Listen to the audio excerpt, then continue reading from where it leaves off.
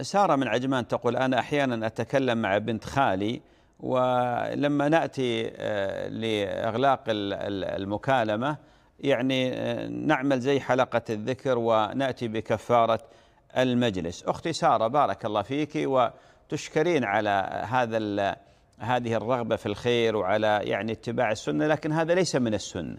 أن الإنسان إذا تحدث مع شخص آه، مثلا مثل الحديث الهاتف أنه يأتي بكفارة المجلس.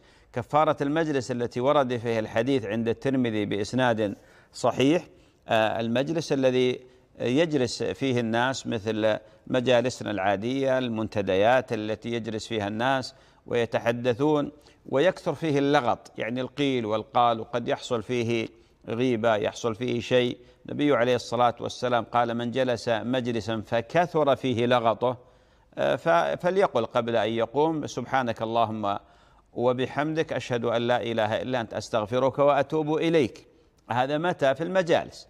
أما في التواصل سواء المباشر يلتقي شخص مع شخص آخر أو عبر الهاتف مثلا أو عبر البرامج الآن المرئية الذي يظهر بأن هذا لا يعني آه، يحتاج إلى كفارة مجلس ما دام أنه لقاء عابر. لقاء عابر فلم يثبت عن النبي صلى الله عليه وآله وسلم أنه إذا التقى بشخص وحادثه وتحدث معه قبل أن ينصرف كان يقول آه، يقول يأتي بكفارة المجلس. ولم يثبت عن الصحابة الكرام الذين هم أدرى بهدي النبي وبسنة النبي عليه الصلاة والسلام وبمقصود النبي عليه الصلاة والسلام كانوا يفعلون هذا.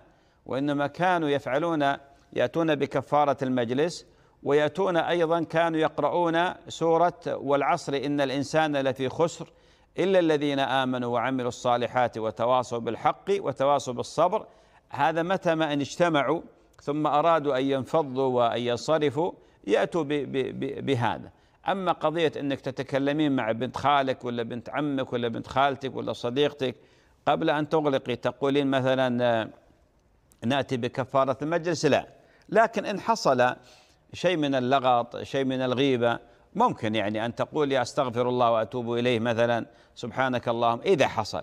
أما مجرد الاتصال العابر المكالمة العادية هذه ما تأتي بمثل هذه الأشياء.